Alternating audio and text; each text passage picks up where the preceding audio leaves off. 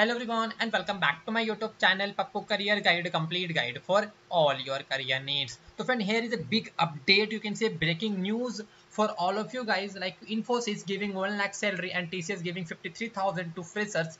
Why?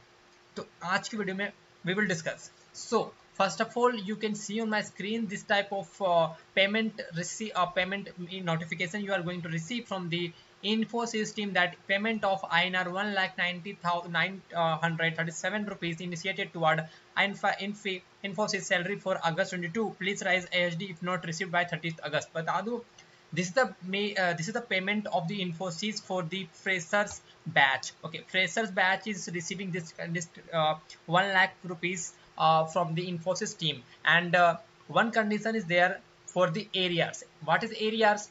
If you're receiving this kind of uh, this uh, 1 lakh rupees from the infosys team then maybe your next month salary will be less than your actual salary because they provided you 1 lakh salary advance. Okay?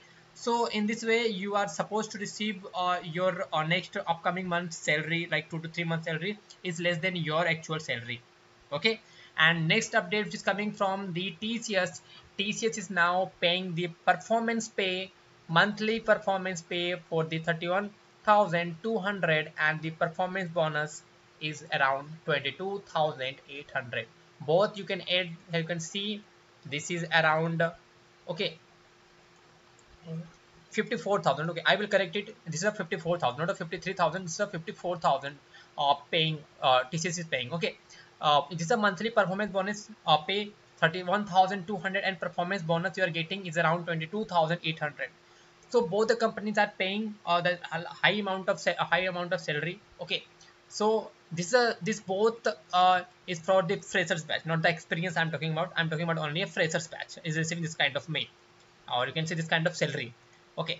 If you uh, if you did not receive this kind of mail then i think uh, you should wait at least this month also. And if not received then uh, maybe they, you, they will not provide you this much of salary. Okay uh, TCS joining delay onboarding start from October 22 yes friend because lots of students are asking the same question sir when TCS start sending the uh, joining mail or you can say onboarding they when they start onboarding so it will uh, delay and it will start uh, most probably they will start October onwards okay Infosys not declare pending interview result. Yes, friend, most of the candidates are still waiting for their system engineer interview mail and they're still not got because if you want to write a mail to the Infosys team, then you can mail.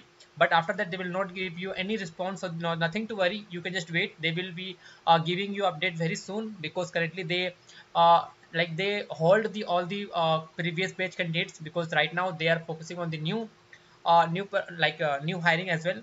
Okay.